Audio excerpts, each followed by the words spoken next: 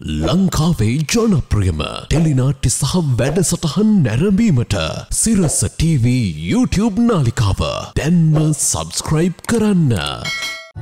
නීල බබලු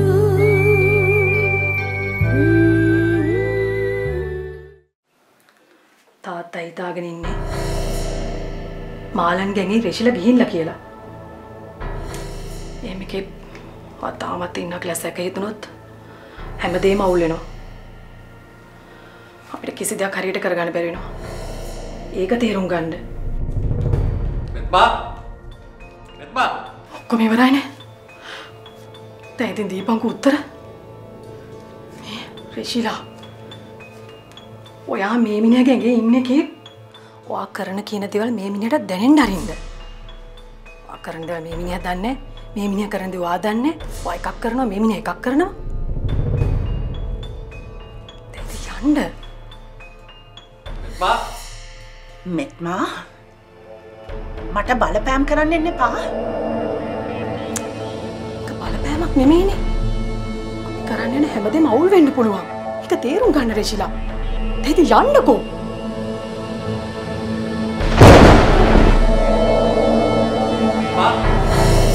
මේ එනවා තාත්තේ. තාත්තා කතා කරනවා. තාත්තේ කොහොමද ඉන්න. කතා කරන්න. මාල මාල තාත්තා කතා කරනවා. මාල මොකද උනේ ආ බටේ ගැලවිලා ඒක හදන්න ගියා. මං ඇහැවි මාලන්ගේ මොකද උනේ මාලන් ඉතින් ඕකට මාලනු උත්තර දෙන්න ඕන කියලා නෑනේ මාත් දන්න දේ. මං ඇහැ මාලන්ගේ මං උත්තර බලාපොරොත්තු වෙන්නේ මාලන්ගේ බටේ ගැලවුණා බටේ හයි කරා. මේ එතකොට එළිය තෙත් වෙලා තිබුණේ නැහනේ වේලෙන්ට ඇති ඊරායන ගැලවුණේ. දැන් තාත්තා මොකටද මේ මේ විදිහට අපෙන් ප්‍රශ්න අහන්නේ? තාත්තර මේ මාලන් හරි මාව හරි කාව හරි සැකයිද?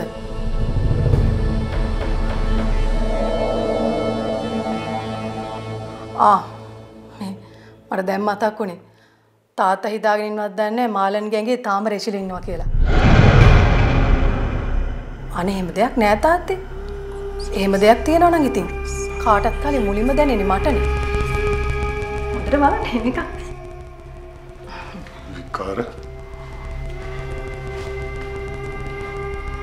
තාත්තත් මේ නිකාන් නැති ප්‍රශ්න ඇති කරනවා.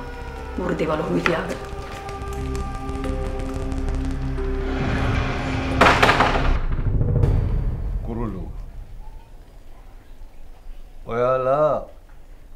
මාත් එක්ක තරහ ඇති. ඇති? ඇති නෙමේ අපි නම් තරහයි. නවත්තන්න. අංකල් කියන්න අංකල් මට තේරෙනවා කුරුල්ලු ඔයාලා ඉන්නේ මාත් එක්ක තරහයි? හැබැයි ඕගොල්ලෝ මාත් එක්ක ගොඩාක් තරහ වෙලා තියෙන්නේ මන් නොකරපු දේවල් වලට ඇත්තටම කුරුල්ලු ඔයයි මගේ පුතයි අතර විවාහයක් සිද්ධ වෙන එකට මං කොහෙත්ම කැමති නෑ. මං ඒක හැම තැනම කියලා තියෙනවා. හැබැයි දුව එහෙම කැමති නෑ කියලා මං කවදාවත් පිට මිනිස්සු ලව්වා. ඔගොල්ලන්ට කිසිම බලපෑමක් කළා නෑ. මන්නම් කියන්නේ ලොයිඩ් මහත්තයා මේවා කතා කරලා විසඳ ගන්න ඕන ප්‍රශ්න. නිකන් මෝඩිය වගේ ගහමරාගෙන හරියන්නේ මේ ඔක දීලා ඉවරයිනේ ඔයාලට මෙතන කතාවක් නැහැ ඇතුළට යන්න ඔව් යනවා තමයි. මොකද මටත් ඉතින් මෝඩියත් එක්ක කතාවක් නෑ.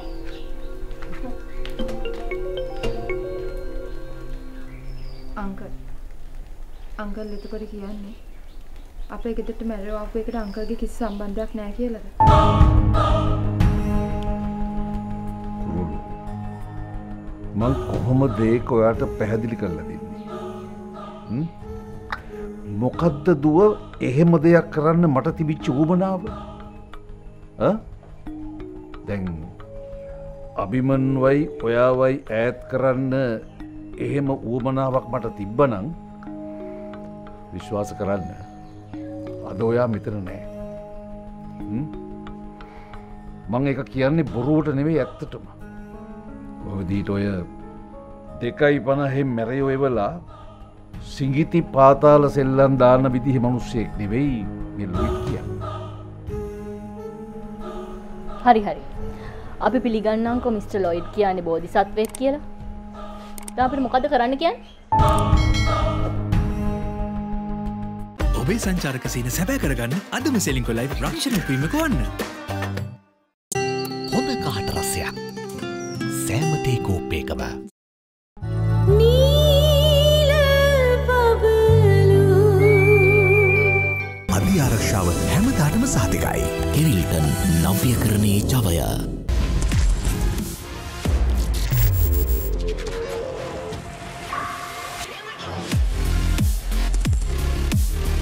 අභිමන් මාත් එක්ක ලොකු අවුලක ඉන්නේ මේ ප්‍රශ්නය හින්දා. එය හිතන් ඉන්නේ මේ දේ කෙරුවේ මමයි කියලා.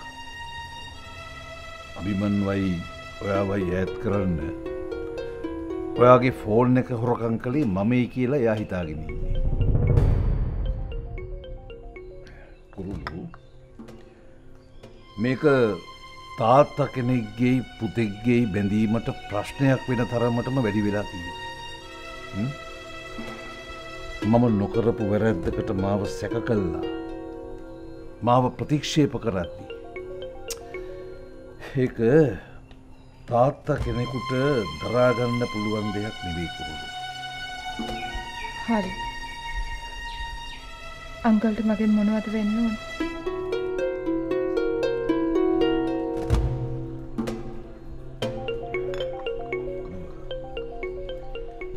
පුළුවන්නං අභිමන්ට කෝල් කල්ල කියන්න. මේ ලොයිඩ් දංකල් කියන්නේ එහෙම මනුස්සයෙක් නෙවෙයි කියලා. හ්ම්? ඔයාලට මං ගැන කිසිම සැකයක් නෑ කියලා කියන්න. ඇත්තටම දුව මං මේ කරන්නේ ඉල්ලීමකට වඩා ලොකු ආයාචනයක් වුණු නියමයි මිස්ට ලොයිඩ් නියමයි. ඔය ඔච්චර නළුවෙක් කියලා අපි දැනගෙන හිටියේ නෑ. දැන් ඔයාගේ පුතාවයි ඔයාවයි යාළු කරන්න අපි ඔව සුද්ධ කරන්න ඕන. අනේ මේ ලොයිඩ් මහත්තයා මගෙන් මේ කොසු පාර කන්න නැතුව දැන් මම මෙතනින් යන්න. අපි හාව කියලා හිතන් ඉන්නව ඇද්ද මේගොල්ලෝ. මොනවද බලන් ඉන්නේ තව? එනවා.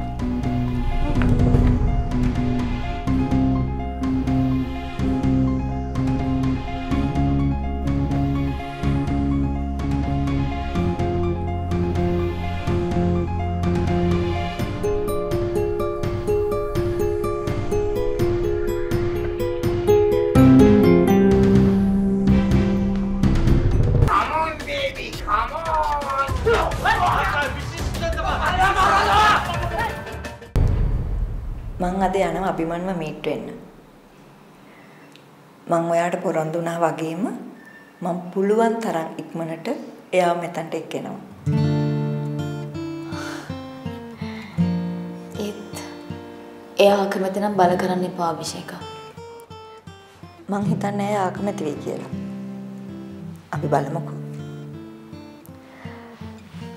පූජා මට ඔයාගෙන් දැනගන්න දේවල් ටිකක් තියෙනවා. හිතනවා ඔයා මට හැමදේම අවංකව පැහැදිලිව විස්තර කරයි කියලා. එහෙම වුණොත් තමයි මට මෙතනින් ඔයාව ඉක්මනින් එළියට ගන්න පුළුවන් වෙන්නේ.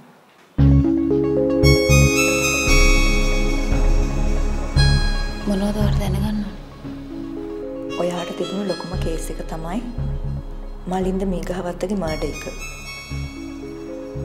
මට දැනගන්න ඕනි ඔයා එතනට යනකොට එයාව මරන්න ප්ලෑන් කරගෙන ගියාද? එහෙම නැත්නම් ඒ වෙලාවේ ආවේ ෂණික කෝපෙට එයා මැරුවද කියලා.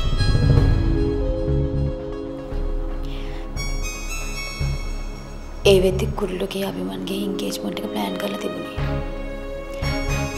මට ඕන වුණේ කොහොම හරි කරලා ඒ එන්ගේජ්මන්ට් එක නතර කරන්න. ඒ වෙද්දි රෙෂිලත් හිටියේ මගේ පැත්තේ. රෙෂිලා තමයි කොහොම හරි මලින්දව පාලු තැන්ට අරන් ගිහිල්ලා තිබුණේ.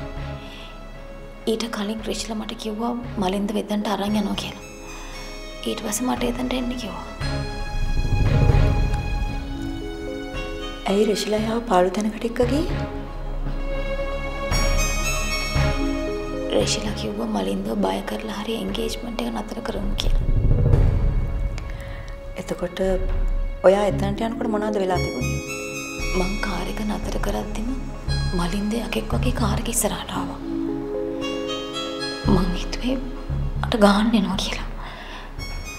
ඊට පස්සේ ඒ බයට කාර් එකේ තිබ්බ පිහි අරගෙන මලින්දට එන්න. ඉතින් ඔයාගේ කාර් එකේ ඇවිල්ලා පිහියක් තියාගත්තේ? මං නිතරම රෑ ගමන් යන නිසා ආත්ම ආරක්ෂාවට තියාගත්තේ.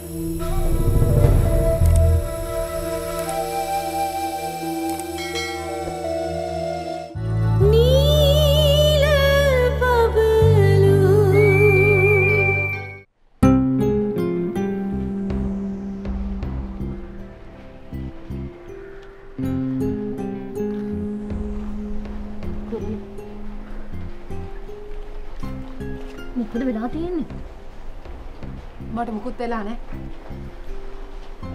ඔයාට මොකද්ද මේ වෙලා තියෙන්නේ? ඔයාට ප්‍රශ්නයක් තියෙනවා නම් මාත් එක්ක කතා කරන්න. පැනලා යන්න නැතුව. මං පැනලා යන්නේ නැහැ. මට අප්පිරියයි ඔය හැසිරිච්ච විදිය. මොකක්ද ඒ කරේ? මොකද්ද මං හැසිරුණ විදිය වැරද්ද? හා? කොස්ස ගත් එකද?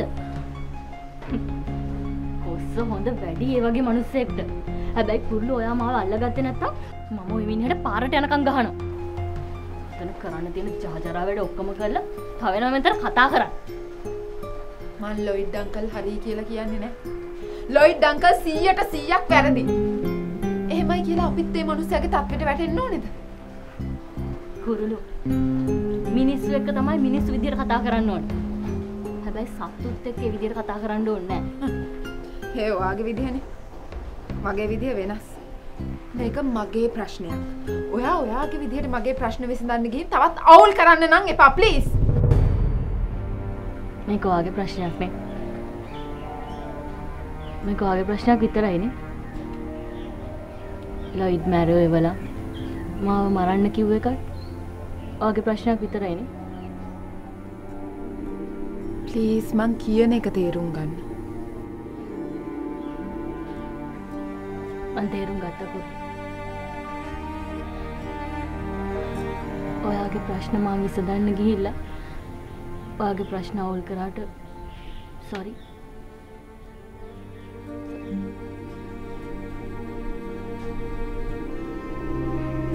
මම වැරදි දෙයක් කිව්වා නම් මට සමාවෙන්න. මං කියන්නේ ඔයා මේ හැසිරෙන විදිහ අපි දෙන්නටම හොඳ නැහැ. අපි දන්නවනේ ලොයිඩ් අංකල් කියන්නේ මොන වගේ මිනිස්සෙක්ද කියලා. ඉතින් එහෙම මිනිස්සෙක් කවුස ගන්න එක අපි දෙන්නටම හොඳද?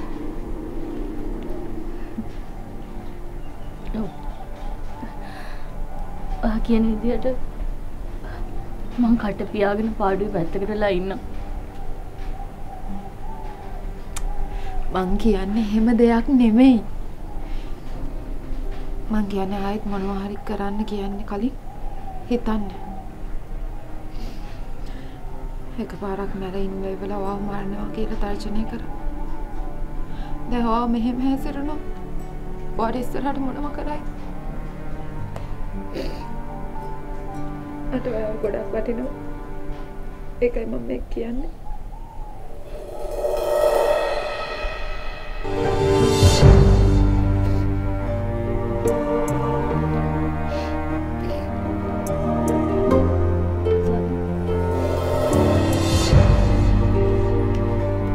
එන්න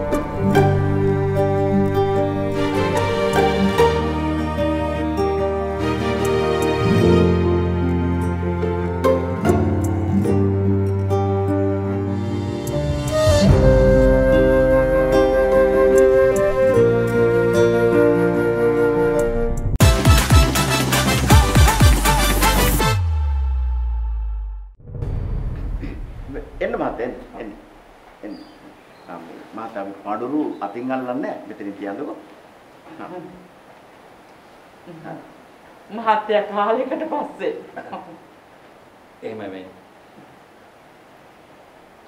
එහෙමනම් මහත්තයා මේ මේ හිතේ තියෙන ගැටලුව සිහිපත් කරගෙන ඇස් දෙක පියාගත්තා නම්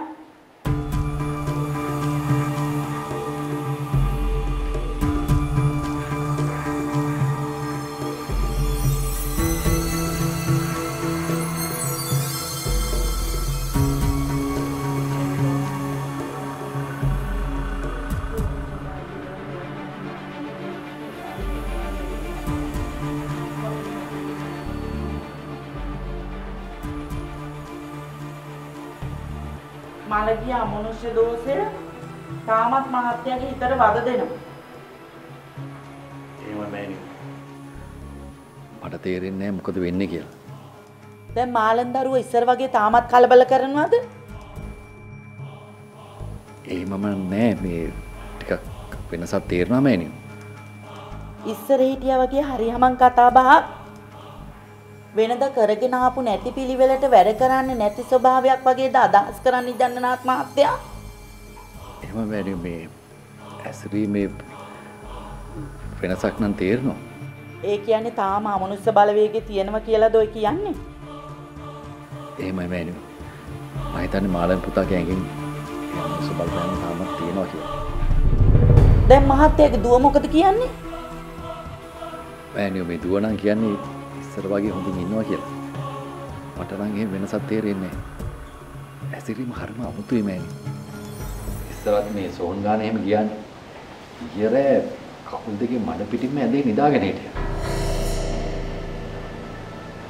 ඉතින් මහත්තයා ඒක ඇහුවේ නැද්ද ඇහුවා මෑණි. ඇහුවා.